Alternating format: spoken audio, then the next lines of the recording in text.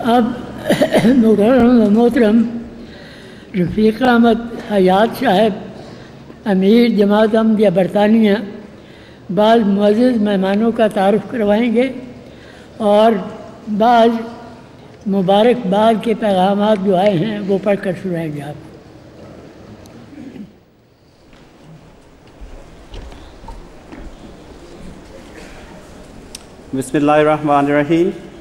rahim During the three days of our annual convention, we are very fortunate that a large number of distinguished guests, both from the United Kingdom and from various countries of the world, come to this blessed event.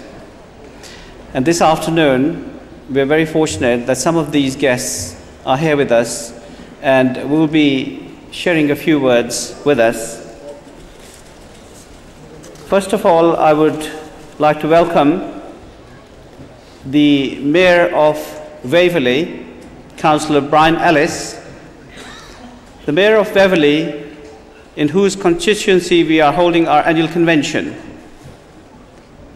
We appreciate and highly value the support that we have received from the Mayor by his presence at this, our 36th annual convention. Councillor Ellis, the Mayor of Waverley, has a variety of careers and has wide experience in different fields of professions. Since 1975, he has been active in the service of the people of Waverley Borough Council. He's married and his wife is also a borough councillor.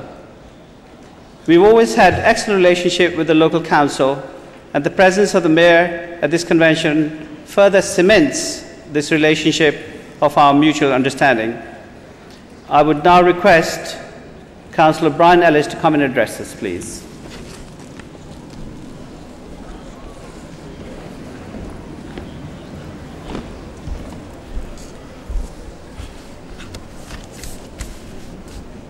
Friends, I thank you. I feel it is a great privilege to be invited on behalf of the Borough of Waverley to attend the 36th annual convention of the Ahmadiyya Muslim Association. Perhaps I can also welcome you back because I do understand that last year, through circumstances beyond your control and ours, you were unable to be here. So it is a great pleasure to see you back in Tilford and in Waverley this year. And I'm pleased to be with you. It was 11 o'clock last night that I was asked uh, to, if I would be willing to say a few words to give my impressions, my feelings uh, today. Somewhat of a tall order, really, because I had just finished a very long day and I started another long day earlier this morning, so that I resorted to start with to talking to local councillors who have known uh, the community here for a number of years. And they gave me some impressions which I've further cemented uh, since my arrival here earlier today. Your local people say that you are peaceful, tolerant, respectful, friendly, very nice, that they treat you well and they make you welcome. And since I arrived here and my wife arrived with me, I have to say that you really have made us exceptionally welcome. I have to say also that I find myself in a marquee the size of which I have never seen before, standing in front of an audience uh, the size of which I have never stood before either, certainly have never been asked to speak to. So that I, you will forgive me, I hope, if I feel more than just a little overawed and perhaps once now and again I may run out of uh, words. But indeed, you are most welcome, and I do feel very, very comfortable to be with you. I am told that there are representatives here from some 90 odd countries, and uh, about 25 to 30,000 of you as well. Uh, I didn't realize the size of this event until I actually came in because just half a mile down the road, I couldn't even see any signs saying where you were and with typical British, um, um, well, typically British, the road that led me here didn't even have a name, so I was lucky to find you. But as I keep saying, I am really happy to be with you today. It is a great pleasure to see so many people from so many different countries, uh, so friendly with each other, their children playing together as well. And it is even more heartening to realise that the core community here has integrated so well with the, the local residents of Tilford. I understand your children go to the local schools. I understand as well that one of you is a parish councillor. So that I really do feel at home here. Uh, my overall impression then, I think, uh, because I don't really want to talk for too long, is that I feel that the village of Tilford and its community here is probably a very much better place because you are here. I think also that the borough of Waverley is a very much better a place uh, because you are here too. And perhaps uh, maybe our country um, in years to come will be, of, be, will be benefiting from your presence and your work as well. So that on the behalf of the Borough of Waverley, can I say thank you from the bottom of my heart and welcome. Thank you.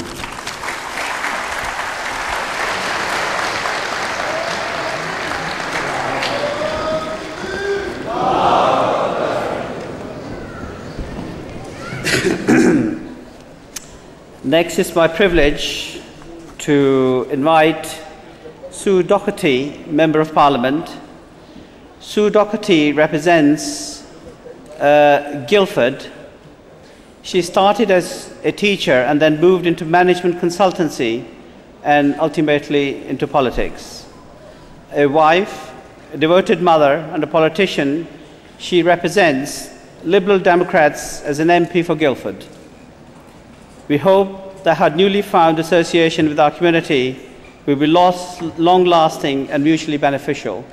I ask Sue Doughty to please come and address us.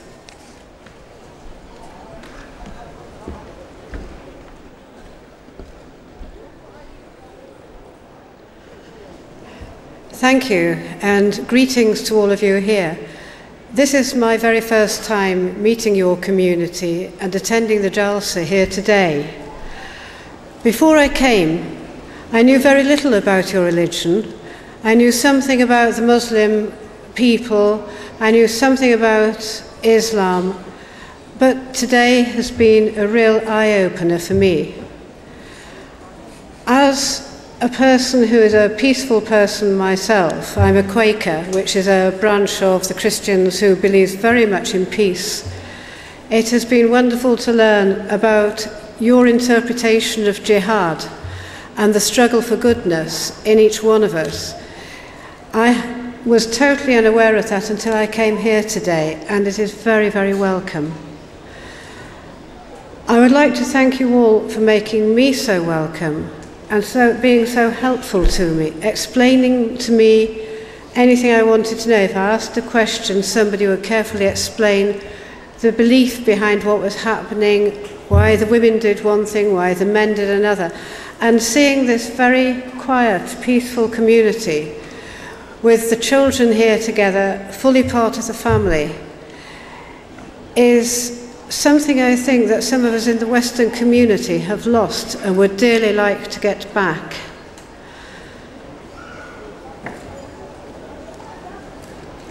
What I would like to say is I hope you will continue to prosper I hope you will continue to grow. I hope that your voices will be heard in a world where there is so much strife and where the important message of peace and working together in so many countries worldwide and this brotherhood that you have here today is such a strong example of what can be achieved. I wish you well for the remainder of the Jalsa and I look forward to visiting you again next year. Thank you.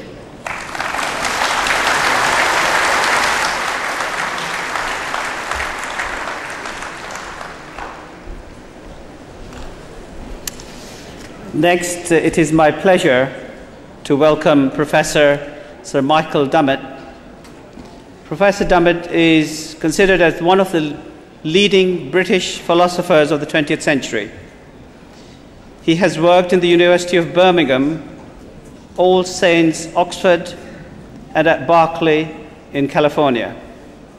At present, he is the Professor of Logic at New College, University of Oxford. He has been campaigning for the fair treatment of immigrants and refugees for the last 30 years. He is considered one of the leading European authorities on race and immigration issues. He was knighted in 1999 for his services to philosophy and racial justice. I would now invite Sir Michael Dummett.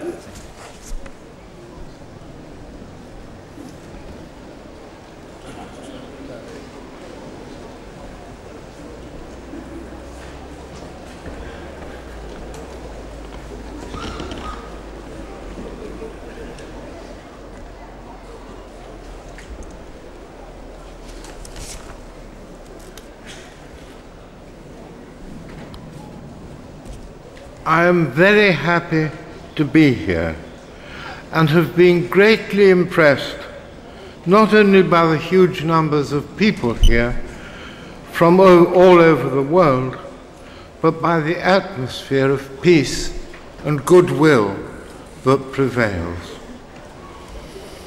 I am not a Muslim, but a Christian. But ever since my first contact with it, I have had the deepest respect for the Ahmadiyya branch of the Muslim faith for two principal reasons. The first is its tolerance and its rejection of the attitude towards members of other religions, sometimes described as fundamentalist, the attitude that they are enemies of the truth and so beyond redemption. Ahmadis see those who belong to, the, to other faiths as beloved of God like themselves and capable of salvation by their merciful and compassionate Creator. The other reason I so respect the Ahmadiyya faith is its completely rational approach to religion, its belief that the intellect is to be applied to religious questions, that God requires us to use our minds in thinking about religion as about all other topics. This is illustrated with great strength in the impressive book by Hadrat Mirza Tahir Ahmad, which I have much enjoyed reading. I wish you all the greatest success with the convention at which you have kindly allowed me to be present and to address you.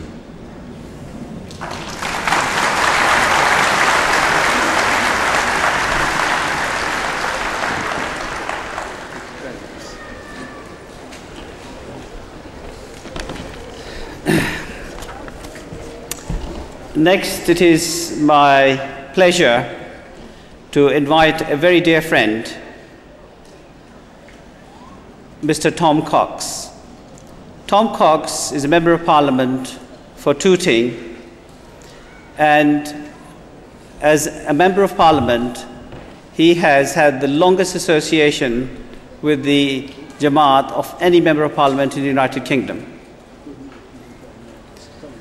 For many years, Tom Cox has held the chair of British and Pakistani Society, and in that capacity, he has played an active role on the issue of human rights and the persecution of Ahmadis in Pakistan. He was the only member of parliament who had the good fortune of accompanying Hazrat Amir al-Mu'mineen on his historic visit to Qadian for the centenary Jalsa Salana. He also has the unique honor of being the first person to write a review on the famous book by Hazrat Amir al-Mu'mineen, Revelation, Rationality, Knowledge. Tom Cox is a very dear friend who will always have a very special space in our hearts, and I'll invite him to come and address us, please. Tom Cox.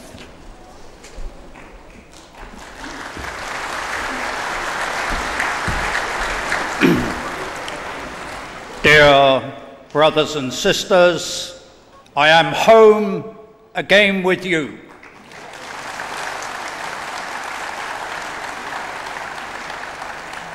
My association, my love for the Ahmadiyya people has existed for many, many years, and it will always continue.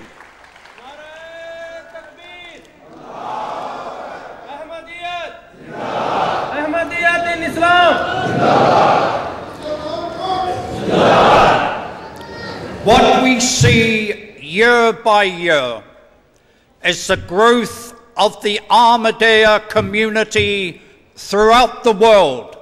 In every continent of the world, there is the Ahmadiyya community following its religious beliefs.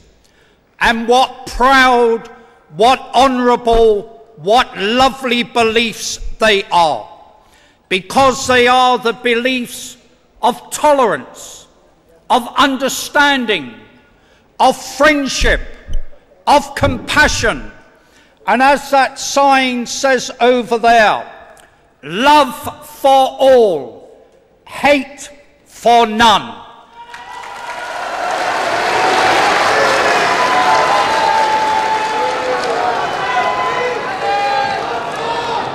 We know that sadly in some countries, and certainly in Pakistan, people who believe as you do suffer enormous persecution.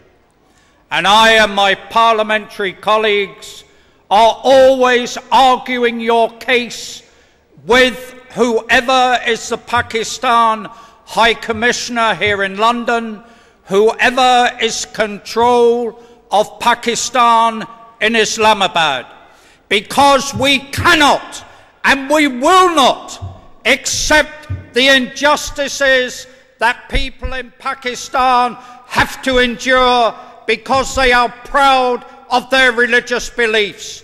And I say to all of you, be proud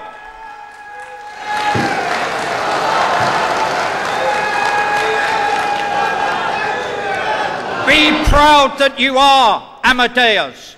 Be proud of the achievements that you have made. Be proud of the suffering that you are willing to face to follow the prolific beliefs that you have, the honourable beliefs that you have, and be proud of the enormous commitment and contribution that you give to this country. You have given so much to this country as you give in all of the countries of the world where the Ahmadiyya community lives and flourishes. And what pleased me, what pleased me was to hear that yesterday a message was read out by my parliamentary colleague Tony Colman from the British Prime Minister Tony Blair. A special message written by Tony Blair solely for the Ahmadiyya convention taking place here this week. And there is no greater testimony of respect, of pride, that you are here in this country, in the work and the religious beliefs that you follow in this country, than to get a personal message from the Prime Minister of the United Kingdom. Be proud of that. Be proud of yourself. We have much in common. We work together. We believe in so many things together. And this will always continue. And I am with you, and you are with me we are simply one gigantic family that stretches throughout the world. And I am again deeply honored, deeply touched to be back with you once again here at this wonderful, wonderful convention.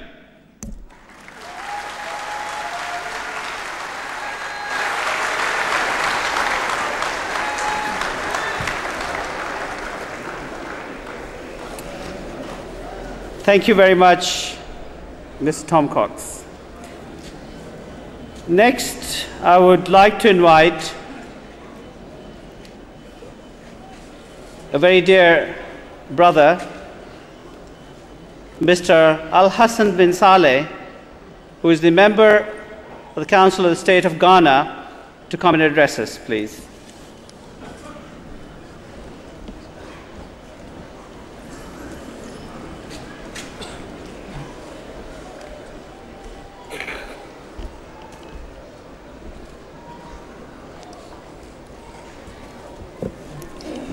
Our respected Our Holiness Khalifatul Masih IV, Mr. Chairman, my brothers and sisters in Islam, Assalamu alaikum wa rahmatullahi wa barakatuhu.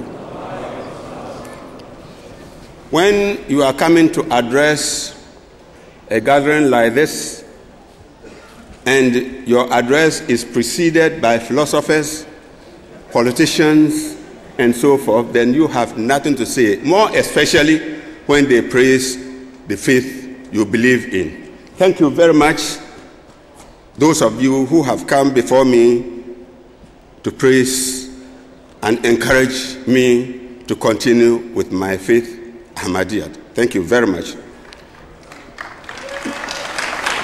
My brothers and sisters,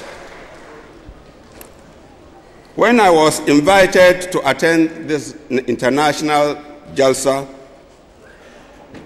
I felt very, very happy for many reasons. My name is Al Hassan bin Sali. Hafiz told you this morning about how Ahmadiyya started in the Gold Coast, Ghana, from Salt Pond. I'm very proud to tell you that it was my father, Al-Hajj Imam Sali, who also took Ahmadiyyat from Salt Pond to northern Ghana, 500 miles away, and he and his uh, family paid dearly for accepting Ahmadiyyat. My family suffered persecution and prosecution long before Pakistanis, Ahmadis began to suffer the same fate. When I was coming, I was lucky.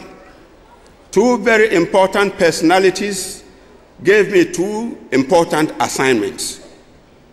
The first assignment was given to me by Molvi A. Wahab Adam, who is the Amir and missionary in charge of the Ghana Ahmadiyya Jamaat.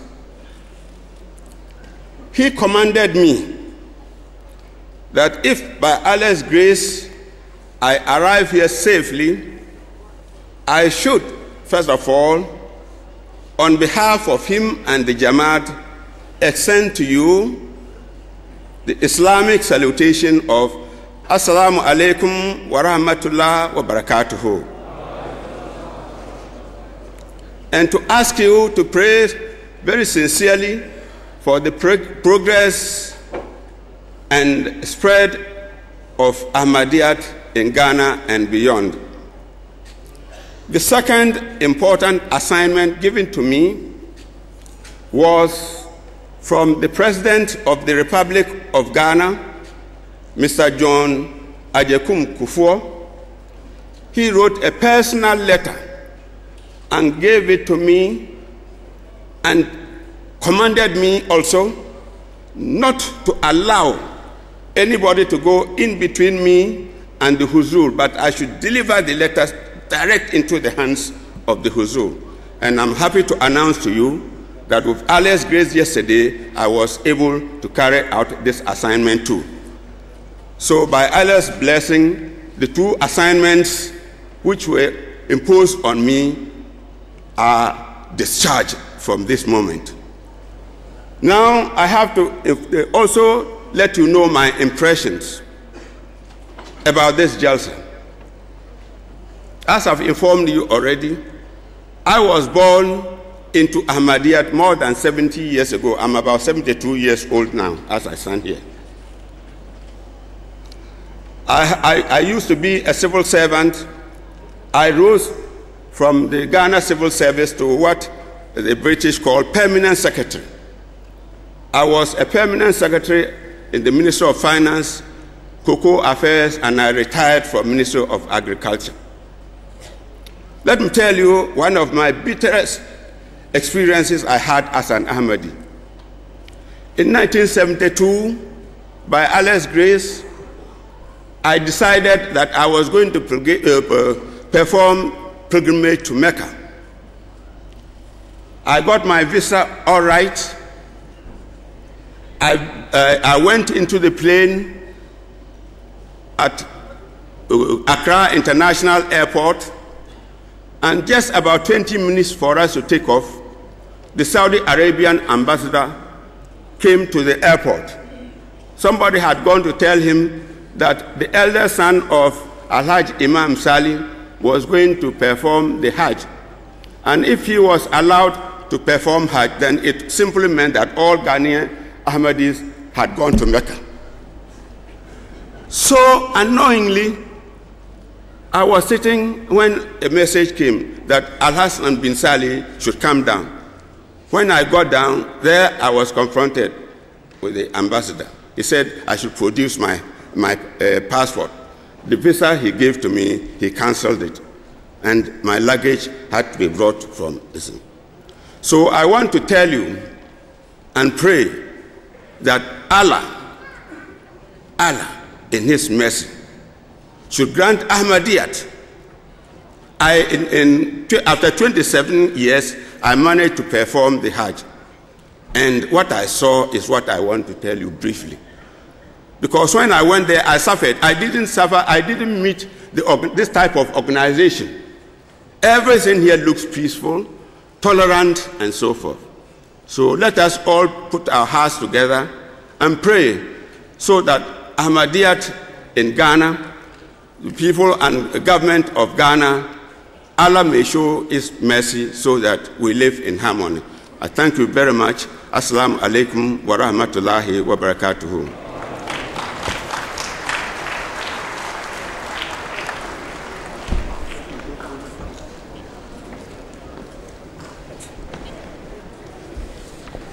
And finally, it is my great pleasure to invite Mr. Lowell Kader Mohammedan who is the Minister and General Secretary for the Republic of Niger, and he will be presenting to us a message from the President of Niger.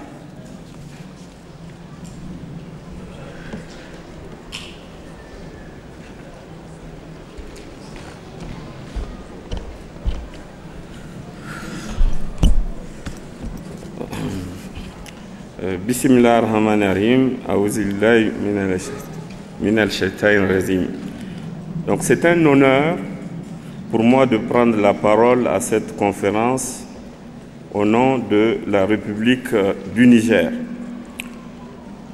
En effet, le président de la République du Niger et son gouvernement m'ont chargé de les représenter aux assises de la présente conférence annuelle de la communauté islamique organisé en Grande-Bretagne et plus précisément à Londres.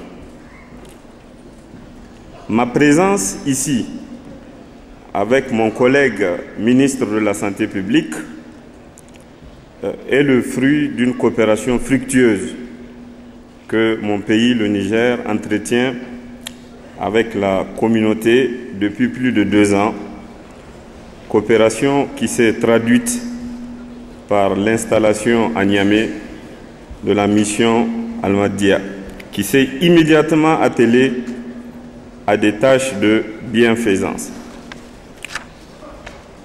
J'ai eu l'honneur de visiter quelques réalisations de la communauté à travers certains pays, dont le Bénin, où j'ai apprécié à Porto Novo comme à Cotonou des centres de santé à caractère humanitaire et de multiples missions sociales donnent de vivres et de médicaments aux déshérités, dont mon pays, le Niger, a bénéficié de la part de Humanity First.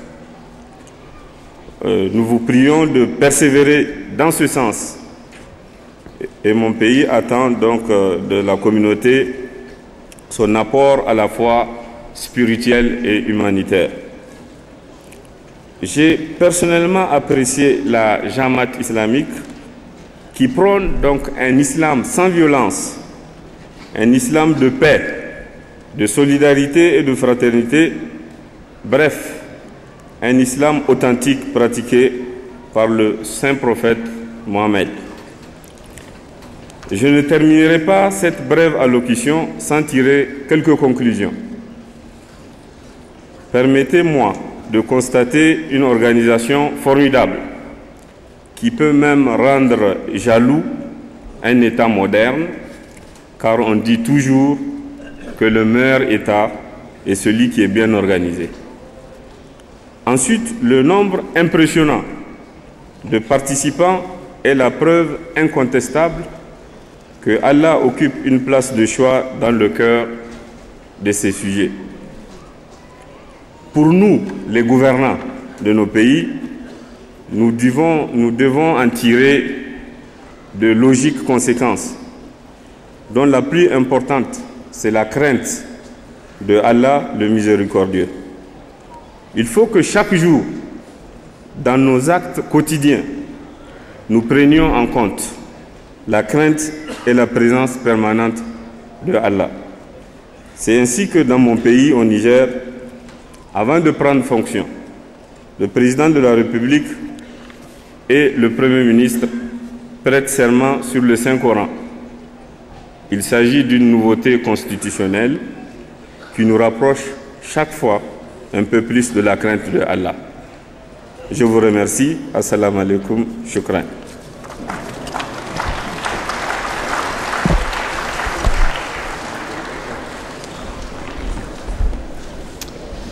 That brings us to the end of this special presentation, and inshallah, there are further messages which will be presented to you in this session tomorrow. Jazakallah.